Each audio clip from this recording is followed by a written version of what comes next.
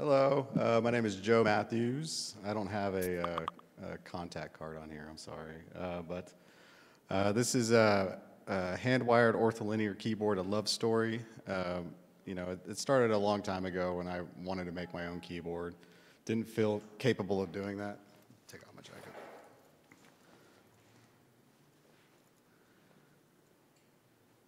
But uh, let me see, what's my first slide? I don't even know. Oh, yeah. The inspiration for my keyboard is actually a Planck keyboard. And they had one of these on Massdrop, and I was like, I'm so going to get this. This looks so cool. And then the delivery date looks like um, sometime in uh, March or April. So it's like, I can't wait that long. So um, I was wondering, what would it take to make my own keyboard? Um, and so I started looking into it. Um, you know, here's essentially a list of parts. Kind of the slide's a little bit out of order, but it, the list of parts is, you know, I needed 48 keyboard switches, uh, 48 diodes. Diodes are pretty cheap. Uh, solid core wire, um, just just wire. That's pretty cheap as well. Solder, soldering iron, a laser cutter. Now that's not cheap. uh, a microcontroller, and that's either a Teensy or Pro Micro. Just these little things. Um, the Pro Micro can use Arduino code. It's pretty cool. Um, but but uh, essentially, you know, uh, my wife's kind of watching my tech budget. You know, I, I tend to spend a lot of money on Raspberry Pis and other things, and um, and so I was like, I need to make this affordable. Um, and so here's the kind of uh, the guide that kind of um, uh, basically showed me it was possible. I was still just you know, I was running off of pure hope that would all work. Uh, but, you know, I, at least it gave me enough information to get started and uh, kind of gave me an outline for what to do. And so uh, I wish I had a picture of it before, but this is the, uh, the disemboweled, uh, completely chopped up keyboard that I had before. And so it, it was a mechanical keyboard with, with cherry brown switches. Uh, you can see the plate there, uh, the little the black plate that, that held all the switches and the PCB in the background. and you can even see the diodes. I don't know, you can see my mouse? Oh, what happened? Oh no. Kimberly, what did I do? All right, I'm gonna go. I'm gonna go back. I think there's a laser cutter option here. Oh, or laser pointer option. Woo! Okay, here we go. We're back on track, guys. All right, and so uh, yeah, you can even see the diodes right here from the old keyboard PCB. And so I murdered my keyboard uh, for the switches, basically, and I was able to get, uh, I think, 89, no, like 84 switches? I don't remember. Not important, moving on. Uh, but a switch is a, essentially like 25 cents to like 50 cents each, uh, depending on when and where you get it. Um, you know, like five years ago, they were more expensive, but you know, you just had to get them from China basically. But long story short, these are authentic cherry switches. That's not really a big deal, but um, it, it, saved a whole lot of money just uh, murdering this keyboard. All right. Uh, special thanks to Western Plastics. Uh, they changed their name. I don't remember what their new name is. I think it's uh, Plastics Alliance or something like that. But they helped me by giving me some scrap plastic uh, for the case. That also saved me a whole lot of money. Um, I called and asked, and they were like, sure. And I was like, thank you. And so shout out to them. Uh, they're here in Oklahoma City, and they uh, they do a lot of plastic design for uh, industrial and uh, uh, commercial settings and stuff like that. So real quick, you know, to kind of uh, make this all make sense, I'm going to do a real quick demonstration on how I made the case for the keyboard, because the case is what holds everything together. So here's a keyboard layout editor. If you're, if you're keyboard aficionado, you may be familiar with this already. So I went here uh, to presets, I went to Planck, and it basically just shows you, this is traditionally used to design uh, keycaps and like, you know, I want to see what my keyboard's going to look like, that sort of thing. Uh, but it also allows you to design any keyboard that you ever could think of. And so here's the Planck keyboard that we saw before. And you go to the raw data, and this is what that keyboard looks like uh, in JSON. And so I'm just going to copy that. And then uh, the second part of that, oh, where did my presentation go? Kimberly. All right, here we go.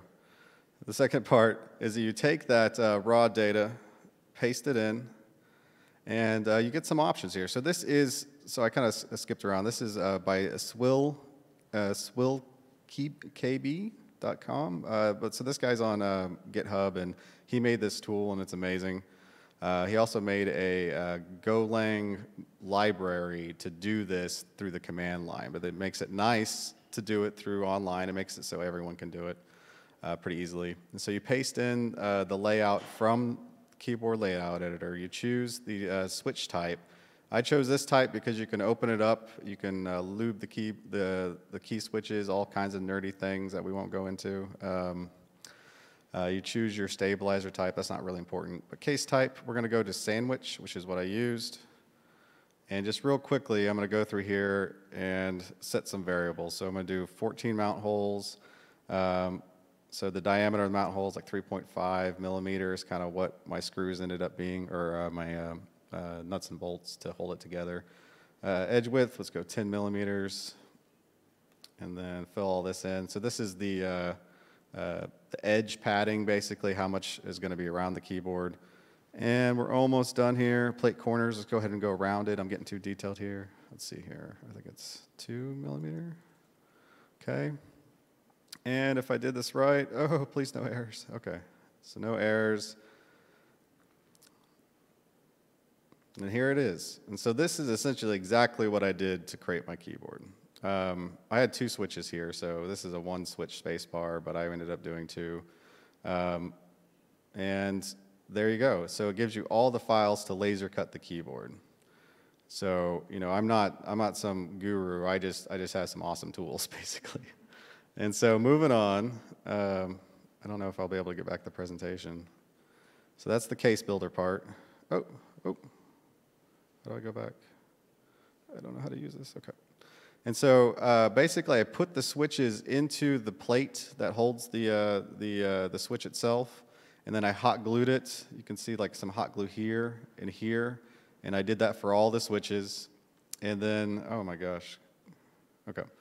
And then here's the diode, and this is soldered to one pin of the switch, which goes down into this rail, which connects all the diode soldered pins and then, so basically, essentially, because this is a lot to look at, you have, uh, you have columns and you have rows. So here's the column, and here's the rows.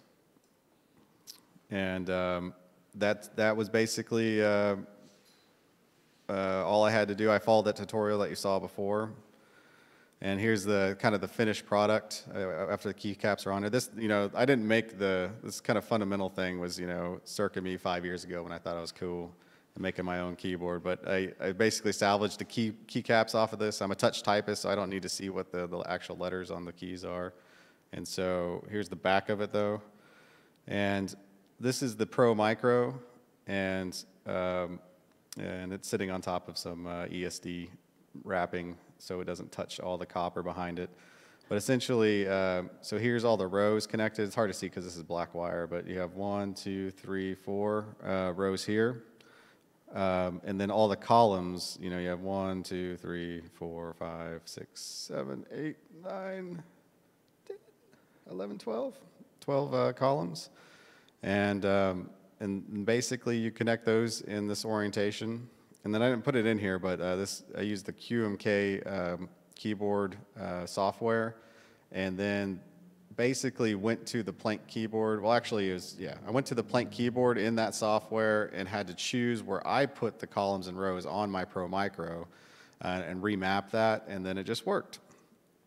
Um, I don't know, it's kind of a short presentation. Um, any, any questions about it? I don't know. Any at all?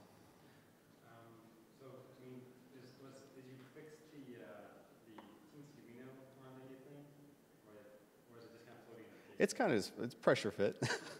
uh, it's it's one of those things where a lot of uh, um, so the question was is the Pro Micro fixed in the case, uh, but no, it's just pressure fit inside there, um, and uh, it, it's one of those things where I made this. Uh, I think uh, finished it up last week, and so I kind of it's just kind of working at this point. Um, I didn't really necessarily think all the way through on how to like make sure everything uh, is properly connected and all that kind of stuff. I think I could use a lot of hot glue and just kind of make it work.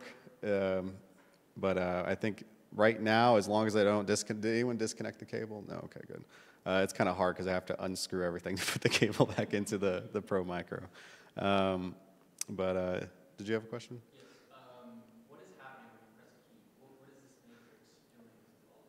Man, I don't know. I'm not an electrical engineer. Come on, man. Uh,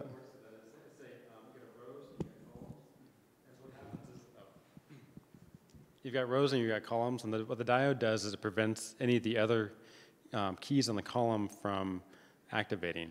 So you can look it up, but it's uh, basically it's a matrix keyboard.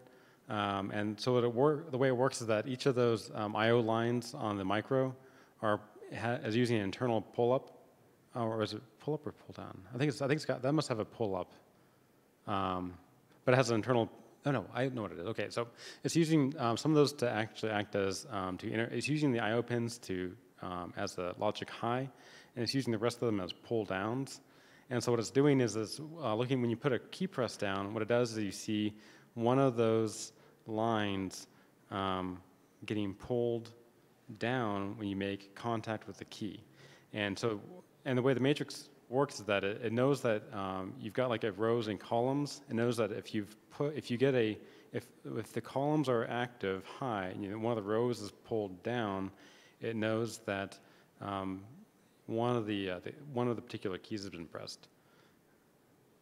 The, the online, or well, that one particular one, because it's got it's, it's indexed based on the rows and like active column or active high columns and um, and sensed rows. Um, so it's not, yeah, it's cheaper. So what? It, so the reason why it allows you to basically um, get, I think you get, um, I think you get, I think like n number of um, positions based on how many I/O pins you have. So if you got a, like a four by four matrix, you get 16 um, positions or 16 key presses. Uh, the only pro- the different the problem though is if you'll see about this when you have a keyboard, like if you push like multiple keys down at the same time, it won't register them all. Um, so the trick when you're doing this is that you have to space your keys out so that you aren't likely to hit um, two keys at the same time in the same row. So what you'll see is you'll see them interleaved. So like like you'll have like row A, row B, row C, row D, and then it'll go A B C D A B C D. So uh, you don't have the same uh, so when you can press like, you can that way you can press like a control key and then like A, B, or C and D together. Um, there's another version called an n-key rollover, uh, which means that each one of those keys has its own I/O channel, and so it can actually you can actually push down all the keys all at the same time to get um, to get your button presses.